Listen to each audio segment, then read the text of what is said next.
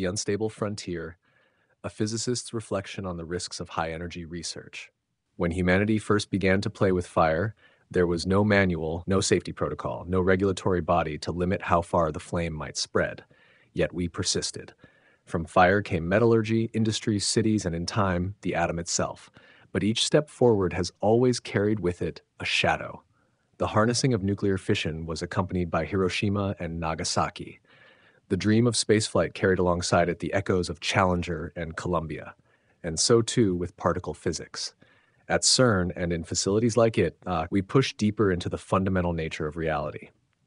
We collide protons at nearly the speed of light, recreating conditions that existed only fractions of a second after the Big Bang. The results are dazzling new particles, new forces, new symmetries. But what lies beneath those discoveries, the unspoken anxieties, are the questions that science itself has not yet answered. What if, in probing the building blocks of nature, we destabilize them? What if, in tearing apart the atom, we create something that cannot be contained? Most of the public knows the Large Hadron Collider as the machine that discovered the Higgs boson. Few realize it is also the machine that sparked one of the deepest, most controversial debates in modern science could these experiments, in some remote and improbable corner of possibility, destroy the world? The official answers are careful. They speak of probabilities so low they are functionally zero. But probabilities are not certainties, and it is those narrow, uncomfortable gaps in knowledge, those theoretical cracks in the foundation of reality, that haunt us. Tonight, we explore the five most unsettling scenarios that have emerged from decades of discussion each one improbable, almost impossible, but none entirely dismissed. They are the shadows at the edge of discovery, the warnings written between the lines of our equations. Segment 1 Ice 9 in the calorimeter. The first fear is one of contagion, not biological, but material. In 1999, as plans for the relativistic heavy ion collider in New York took shape, a small group of physicists began to worry about something called strange matter. Strange matter is a hypothetical substance composed of strange quarks, cousins of the up and down quarks that make up ordinary protons and neutrons. The concern was this if strange matter is more stable than normal matter, then creating even a single fragment, a so called strangelet, could trigger a catastrophic chain reaction. Ordinary matter would be converted atom by atom into strange matter a lab bench, a researcher's hand, a building, a city, a planet. It is a scenario chillingly similar to Kurt Vonnegut's invention of Ice Nine, a crystal that froze any water it touched, eventually locking the entire world in ice. In our case, it would not be water, but matter itself. The probability? Incalculably low. Yet in 1999, the theoretical risk was high enough that the RHIC team commissioned a formal safety review. A paper was written, published, and debated. The conclusion was that strangelets, if created at all, would be unstable, they would decay before they could spread. The world moved on. But here is the detail that unsettled me as a physicist. The safety was not absolute. It rested on analogies, on assumptions about cosmic rays colliding harmlessly with the atmosphere. It rested on what had not yet happened, that Earth had not already been converted. That absence was our reassurance. But absence is not proof, it is merely survival, so far. Imagine for a moment the scenario if the calculation were wrong. The first strangelet appears not with a bang, but a whisper. A single particle inside a calorimeter invisible to the human eye. It lingers, it touches another, and suddenly the chain begins. Within seconds, the experiment is gone. Within minutes, the laboratory collapses into a puddle of dense quark matter. Within hours, the planet begins to unravel, atom by atom, consumed not by fire or explosion, but by transformation. The end of the world would not come as chaos or panic, but as silence, a quiet, inevitable conversion spreading outward until there was no Earth to speak of. Physicists assure us this will not happen. I assure you it is unlikely. But in our field, unlikely does not mean impossible, and when the stakes are a planet, that distinction is more than academic. The second fear concerns gravity, the most familiar of forces, yet the least understood. At the Large Hadron Collider, two protons collide at nearly the speed of light, producing energies unseen since the dawn of the universe. The hope was that these collisions might, in rare cases, generate microscopic black holes, pinpricks of infinite density, smaller than an atom, born from the focused violence of the event. The prevailing theory was comforting. Any such black hole, if it existed, would evaporate almost instantly. This was the reassurance given to the press, to governments, to the public. Stephen Hawking himself had proposed the mechanism Hawking radiation, a steady leak of energy that would cause tiny black holes to dissolve before they could do harm. But theories, however elegant, are not certainties. Hawking radiation has never been observed directly. It remains a hypothesis, resting on equations untested by experiment. What if the theory is wrong? What if a micro black hole, once created, does not evaporate? In that case, it would drift downward, pulled by Earth's gravity, sliding silently through the detectors, through the concrete shielding, through the bedrock. It would oscillate through the core, consuming atoms one by one. At first, the rate would be imperceptible, perhaps grams of matter per year. But the process is exponential. With each atom swallowed, the black hole grows, and as it grows, its appetite accelerates.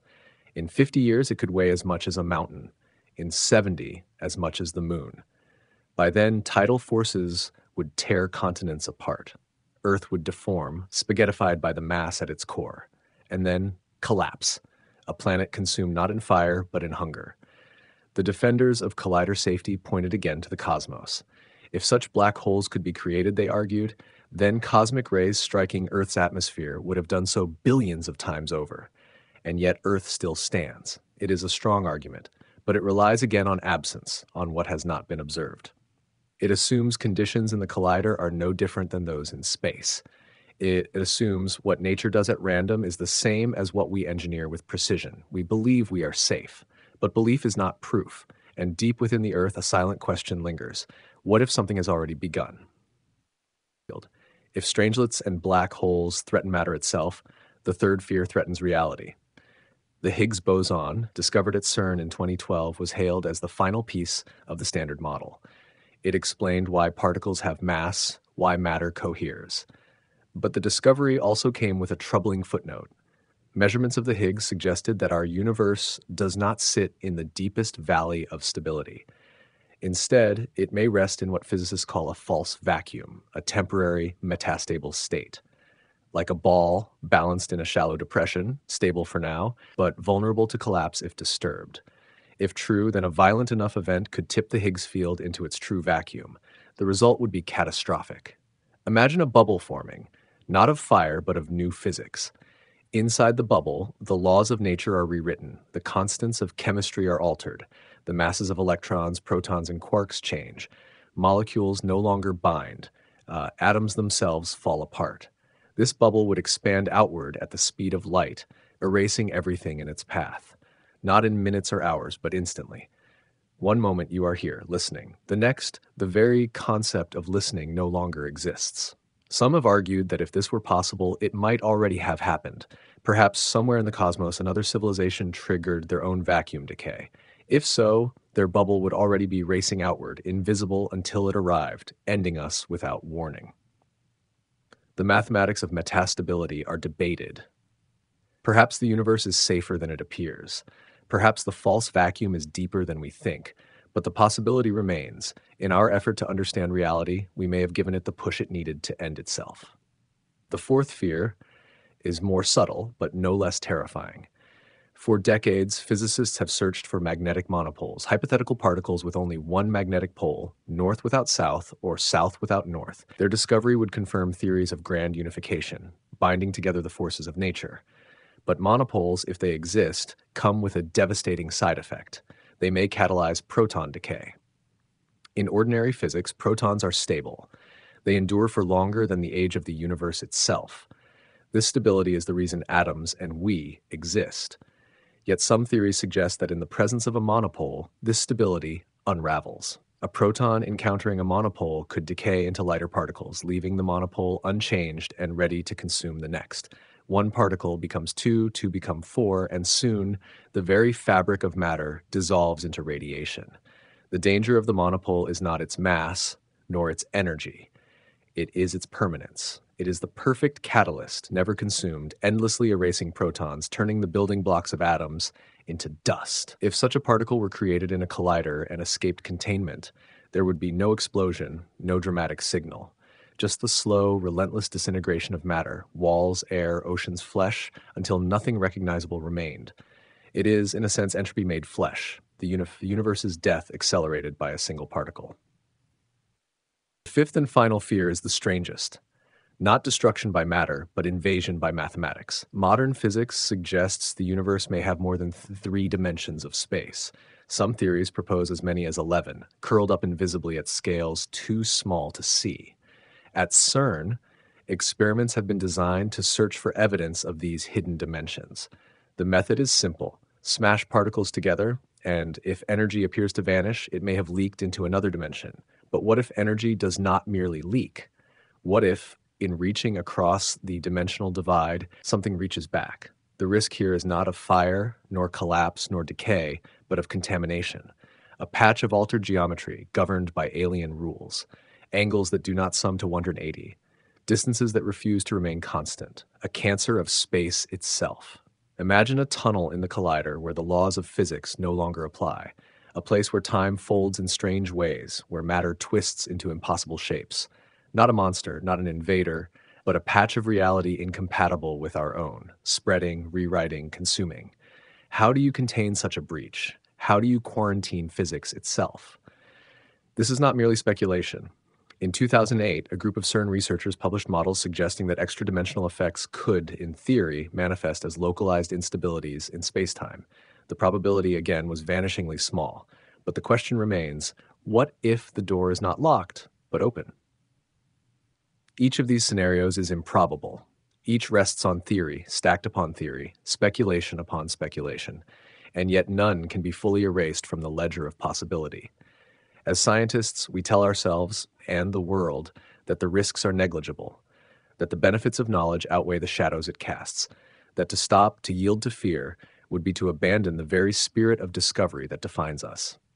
But in the quiet of the control room, when the beams are aligned and the countdown begins, I sometimes wonder what if this is the shot that tips the balance? What if tonight we press the button that undoes the world? History will judge us as pioneers or as fools, but history itself may not survive to render the verdict. This is the unstable frontier, a place where knowledge and annihilation walk hand in hand, a place where every discovery whispers a question How much reality can we afford to risk in order to understand it?